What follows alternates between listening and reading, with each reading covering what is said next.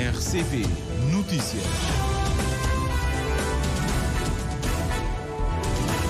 Já são sete horas em Cabo Verde. Temos notícias no primeiro jornal, como sempre, a abrir os destaques desta edição.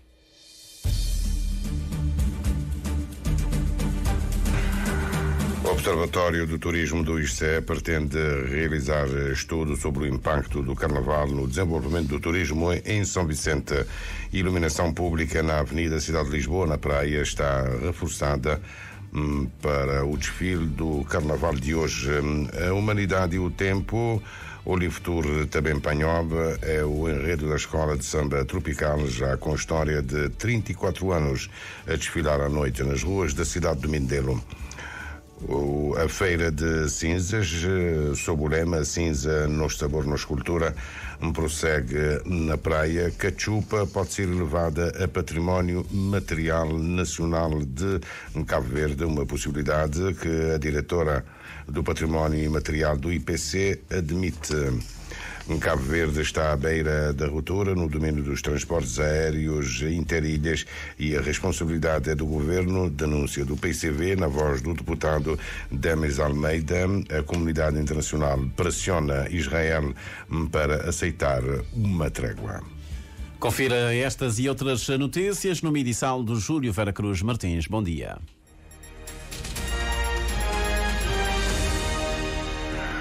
Votos renovados de bom dia, gratos pela preferência que nos dá. O governo senegalês, em concreto a prefeitura de Dakar, interdita a marcha silenciosa projetada para hoje, com a organização da plataforma criada logo depois do adiamento das eleições presidenciais no Senegal.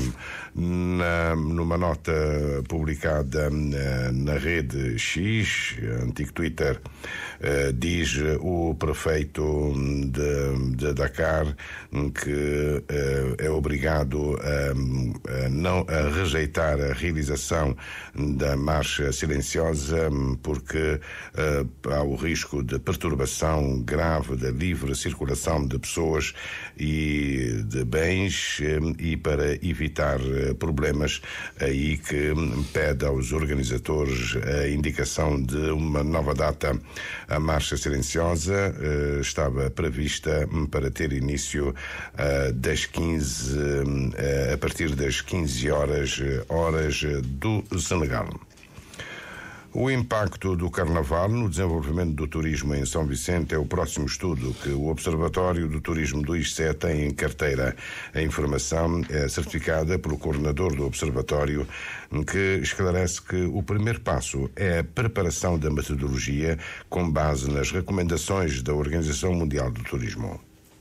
Através da conta de turismo, que é um instrumento que permite-nos medir o impacto desses eventos, e a partir dali sim pretendemos fazer a, a, avaliação do impacto do Carnaval. Pretendem fazer isso a nível nacional? Em primeiro lugar, nós devíamos fazer uma experiência piloto e, e depois transferir, podemos sim nos próximos anos transferir a metodologia para a Ilha de São Nicolau e, e, quem sabe para outros eventos da mesma dimensão e mesma tipologia. O Observatório tem feito algum trabalho e, e claro, nós temos tido uma dificuldade que é a questão do financiamento para os estudos. Nós necessitamos sim de financiamento, creio que financiamento da parte do poder público, como também dos privados, porque é um evento de cariz nacional que tem interesse tanto, eu acho que o Estado, sobretudo o Ministério Turismo, tem interesse nesse evento e também as empresas ligadas ao turismo, não só aqui em São Vicente, também têm interesse em nós medirmos o impacto do, do Carnaval aqui em São Vicente. Por isso, também deixo o apelo aqui para desenvolvermos esse projeto em conjunto, em parceria com, com as entidades pública ou privada, e creio que é uma atividade que teremos todo o gosto em fazer e, e que teremos a necessidade de ter outros parceiros para desenvolver esse projeto. A partir de quando é que pretendem, digamos, dar o pontapé de saída na preparação desse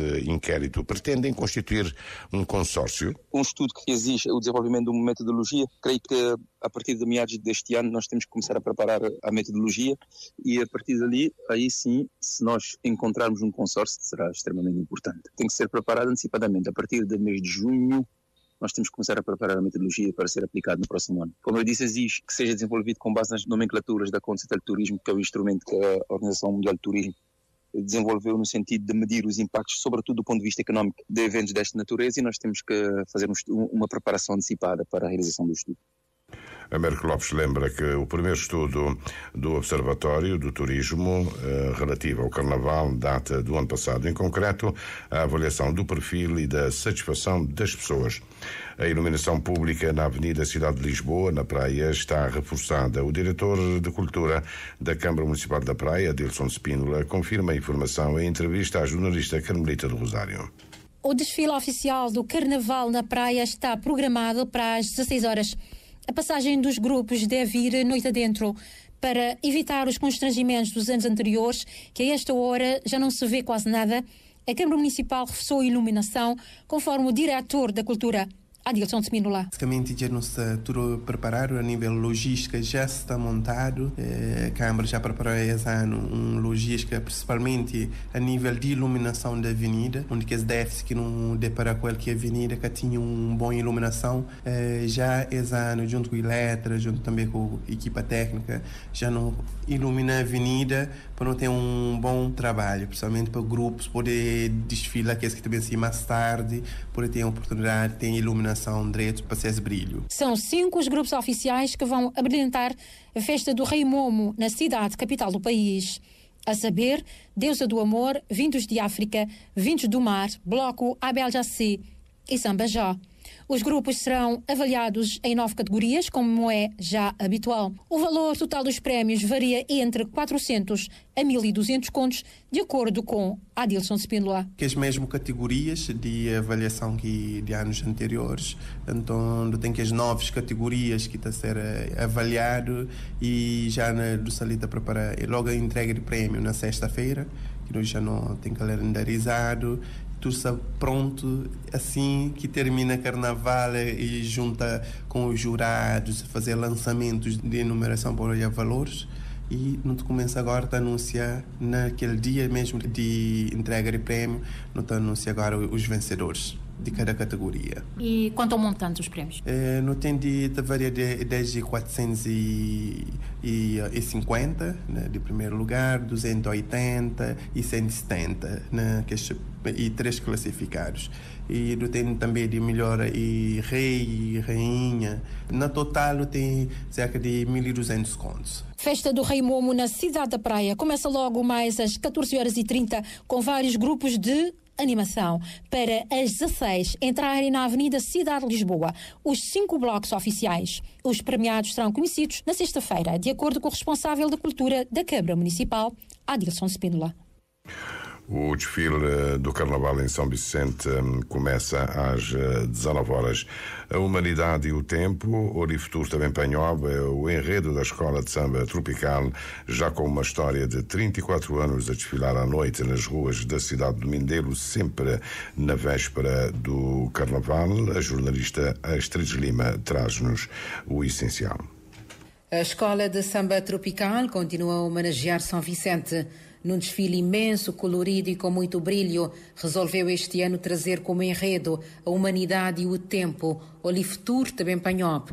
A escola tem procurado sempre passar uma mensagem que leve as pessoas a refletirem sobre questões importantes do mundo globalizado. Por isso, este tema filosófico ponderado sobre a existência da linha do tempo numa viagem desde o passado analógico pelos dias digitais de hoje e até o futuro virtual. Entra em cena Got Manejon, o narrador da história que decide começar a contar o tempo pelo tempo de Caniquinha. O enredo foi descrito através de 20 alas compostas por 1.200 folhões e dois carros alegóricos. O presidente do grupo, David Leite, reconhece que foi um excelente espetáculo. Era para poder dar povo de São Vicente um espetáculo digno do nosso carnaval já que não fazia um desfile à altura da Escola de Samba Tropical. Desde lá de baixo, no Tito Vi, que é um dos maiores desfiles de samba já a fazer. Uh, então, já que sim, me é suspeito quantos anos eu consegui trazer? Não, tra não trazer 1.200 folhões. Não trazer 20 alas. Recuperando uma tradição do primeiro desfile, a escola começou na Praça Nova, mas problemas com o gerador ditou o atraso de duas horas. Conforme David Leite, devido à dimensão do Carnaval Mindelense, há que se ter infraestruturas para acompanhar esta evolução. É fundamental investir, mas diz, para isso precisam de apoios conseguir energia para um desfile desse tem que ser geradores potentíssimos, tem que ter investimentos, não tem que investir. Mas quem está a investir? Grupo ou maneira? É grupo, é grupo. Basta o grupo tiver condições, a investir. Dizer, todo grupo tem interesse em ter seu próprio património. Agora, não mexe é mais apoios, eu não podia investir. Nunca te pedi ninguém para investir na nós. É apoios, vou te investir nós. Agora, tem, sendo certo que não precisa, carnaval, neste bem melhorar a infraestrutura.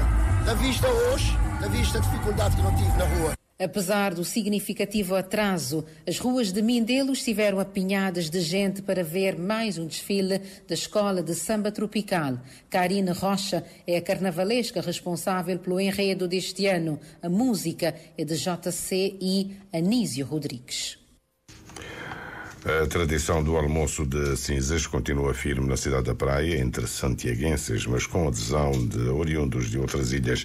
A nona edição da tradicional Feira de Cinzas, organizada pela Câmara Municipal no Largo da Várzea, este ano tem como lema Cinza, nos sabor, nos cultura. O jornalista Cândido Fortes traz-nos o pulsar do primeiro dia da feira que decorre desde ontem. Charença 140, couve 160. Coco sarujinho escuro. Não gosta de mais ou menos. Quanto que sabe a peixe? Milho escuro que não tem, ceras maraganas. Não tem mandioca, não tem couve, não tem cenoura. Mandioca, tomate. A mim tem 260, mas tá depende de, de preço da varia. E couve? Hum, couve 120. Tá com um pouquinho, tá bem alguém mais tio, não tem fé. Ano passado, peixe estava mais tio. E já eu tinha escolha mais do que gosta. É mais barato que ano passado. Já esse peixe ano passado estava 1.200, esse ano está 1.000 escuro. Produtos de verduras também estão a bom preço. As opiniões escolhidas pela RCV na cidade da Praia mostram que a tradição do almoço de cinzas continua firme entre os santiaguenses, mas também espelham a adesão de oriundos de outras ilhas ou com descendência em outras ilhas. Não, não. Lá na fogo nunca aconteceu bem. É uma coisa bonita. É aquele prato é saboroso já. Está de sempre. Já conseguiu tudo que é saboroso ali? Sim. Preço está acessível? Não, preço gosto está mais ou menos, está tão acessível. Eu nasci na Boa Vista, mas criei na Santiago. Então já bem aquela tradição desde menino. Já a tradição sabe, não está gostado de comida de cinza. Xerenco, peixe, pava, batata doce, couve, tudo não está gosto. E depois ele é uma comida saudável, tudo alguém está gostar. E na San Antônio tu fazer cozido de carne, que é quase semelhante. Se não te trocar aquela carne para peixe. Exato, é me estudar em família, minha mulher, minhas filhas e alguns familiares que não estão fazendo né, na casa sempre. Festa de cinza, junto com a mulher, com o filho? Ah, junto com a família, mulher, filho, mãe, pai, irmãos para comemorar essa festa de cinza. Segundo nota da Câmara Municipal da Praia, a Feira de Cinzas no Largo do Estádio da Várzea, a decorrer até quarta-feira próxima, conta com cerca de 180 expositores com produtos típicos da quadra e animação nos três dias do evento de grupos de batucadeiras e artistas locais. Cachupa pode ser elevada a património material nacional de Cabo Verde, uma possibilidade que a diretora do património imaterial do IPC admite. Em entrevista ao primeiro jornal, Carla Indira Semedo revela que ainda este ano Pano de Terra e Funaná devem ser classificados na Nivas.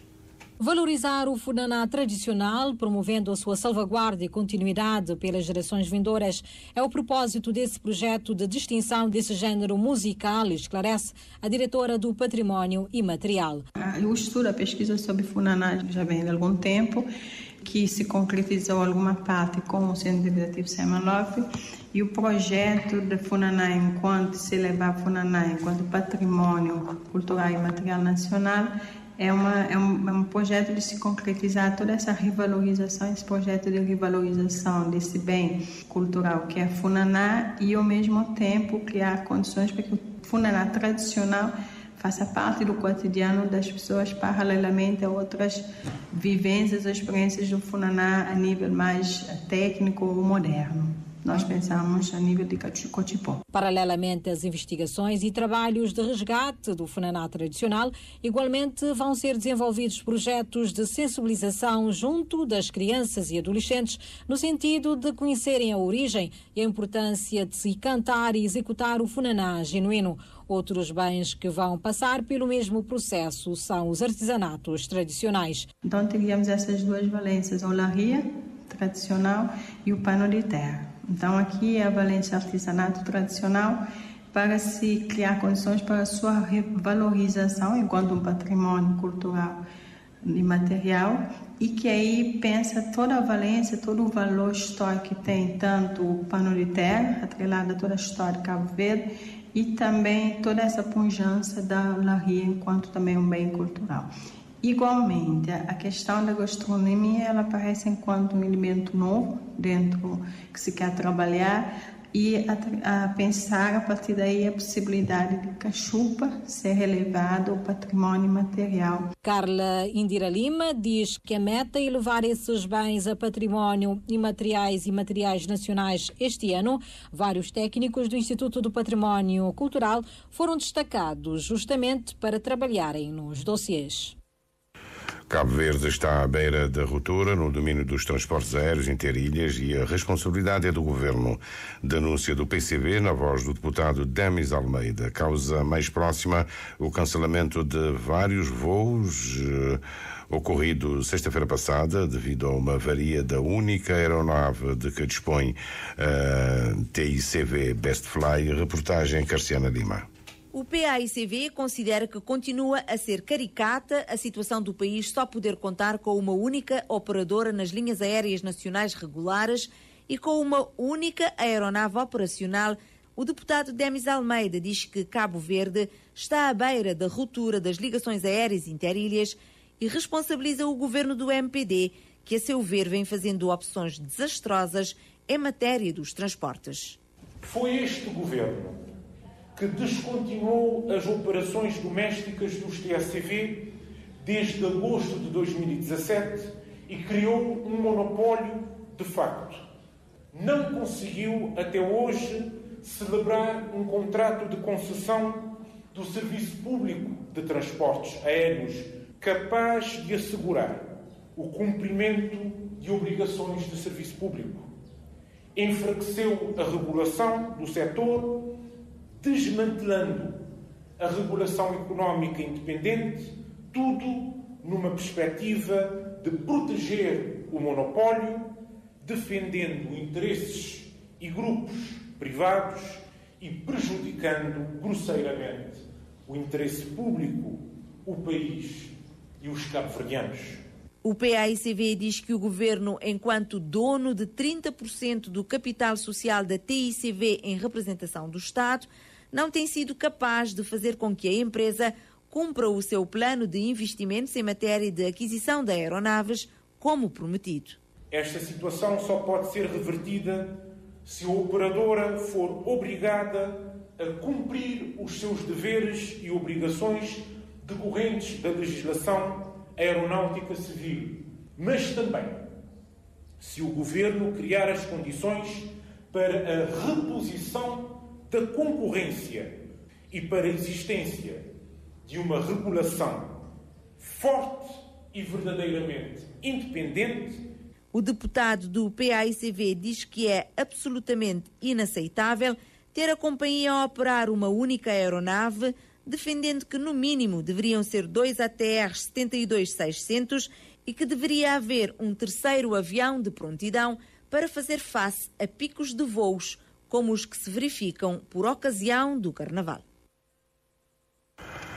O Estado está em dia no que respeita à prestação de contas, o que acontece pela primeira vez. Conclusão, a conclusão vem do Vice-Primeiro-Ministro e Ministro das Finanças expressa ontem perante a Comissão Especializada de Finanças e Orçamento da Assembleia Nacional. Estamos a analisar agora as contas de 2021. O Tribunal de Contas vai emitir o parecer ainda durante o primeiro semestre em relação às contas de 2022 e, portanto, podemos dizer que estamos em dia com as contas do Estado. Mas eu quero aqui dizer que tudo isto que estamos a conseguir não é mérito apenas deste governo. E temos que ser justos. A reforma ao nível do Segol começou antes de nós. Estamos a melhorar este instrumento estamos a fazer um upgrade, mas começou antes de nós. Se nós não tivéssemos chegado automaticamente, não estaríamos nessa posição. Mas hoje temos as contas em dia, não só em relação à entrega, mas relação à emissão do parecer. Em junho vamos receber o parecer das contas de 2022. E 2023 terminou há poucos dias e estamos no processo de fecho para entregar, nos termos da lei, ao Tribunal de Contas. Meus caros amigos, há muitos anos que nós não podíamos fazer essa formação como está a fazer agora.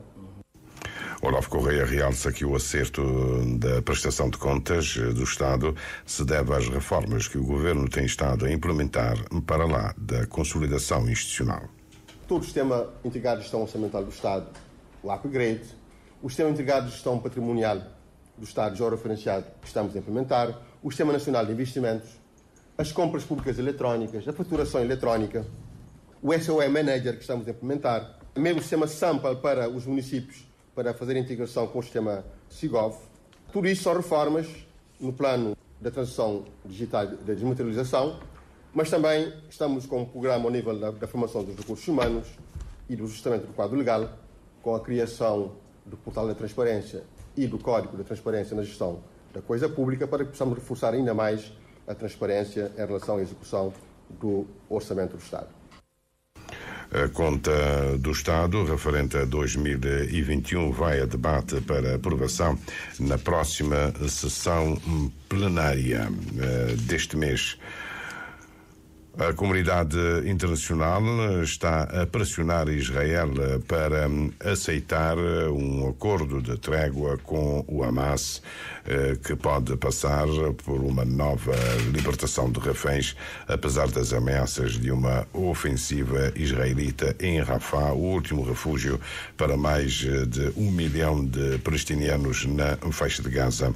O rei da Jordânia também faz um pedido de trégua quando se encontra nos Estados Unidos em visita oficial. O próprio presidente norte-americano Joe Biden também está a evocar com muita assistência uma trégua de pelo menos seis semanas, como parte de um acordo que, ainda está por encontrar sobre a libertação de reféns ainda mantidos no enclave. O chefe da CIA eh, chega hoje ao Egito para mais uma ronda uh, negocial com os parceiros do Médio Oriente.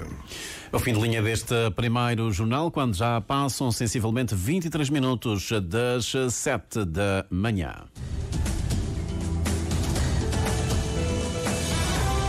Mais informações em www.rtc.cv e na aplicação RTC Mobile. RCV, o rigor da notícia e o melhor da informação a cada hora.